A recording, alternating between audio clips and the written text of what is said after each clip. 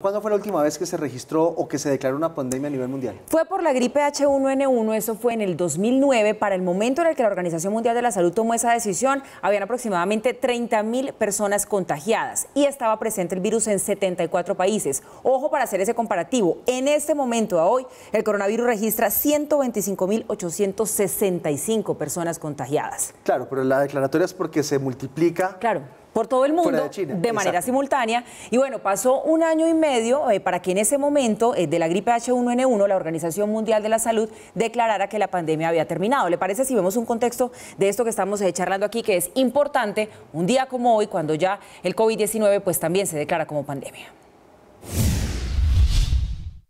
Según la Organización Mundial de Salud, una pandemia es la propagación mundial de una nueva enfermedad, un brote regional de una enfermedad que se propaga de manera inesperada.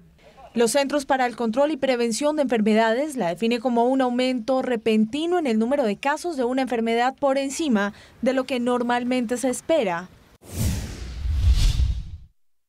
En enero, la OMS declaró que el brote del nuevo coronavirus era una emergencia de salud pública de interés internacional.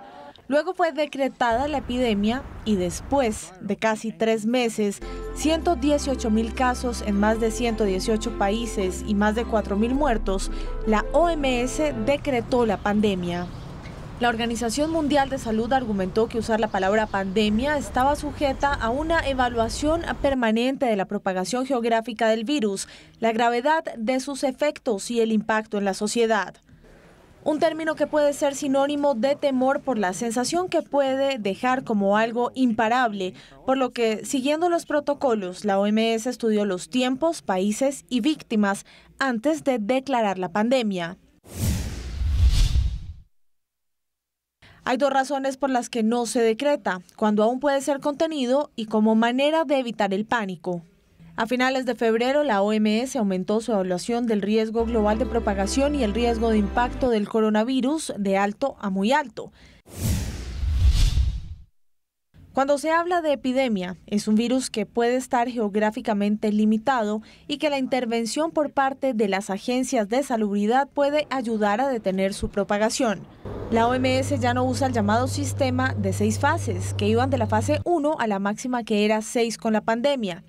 Al menos cuatro pandemias de influenza fueron decretadas en el siglo XIX y tres en el siglo XX. La última pandemia declarada por la OMS fue el virus de influenza H1N1. El 15 de abril de 2009 se registró el primer caso en California. El 25 de abril se declaró el estado de emergencia de salud pública de interés internacional. Dos días después pasó de fase 3 a 4 y el 29 de abril de 2009 se decretó la pandemia que habría dejado más de 150 mil personas muertas en el mundo.